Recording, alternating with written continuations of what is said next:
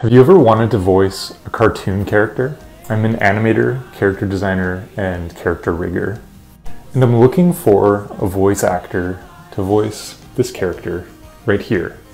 They are a cocky, funny little raven wizard, and I'm hoping I can find someone to duet this and offer their voice to this otherwise silent character. I will have an animatic up in a few seconds, so if you want to duet this, I would love to hear what people have to offer. Three, two, one. A lot of people seem to think it's easy being a wizard. Pointy hat, staff, reptilian features. And you can conjure any little shiny object your heart desires. But these fools don't know the first thing about wizards. Wizardry takes decades to master, and you must be fond of pure heart. Take myself, for example, I became a wizard to master their arcane arts. And because I look damn good in this hat.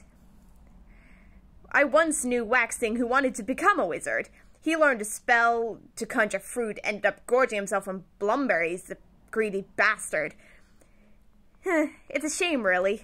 Not many of us have the self-control it takes to resist the material pleasure magic can offer.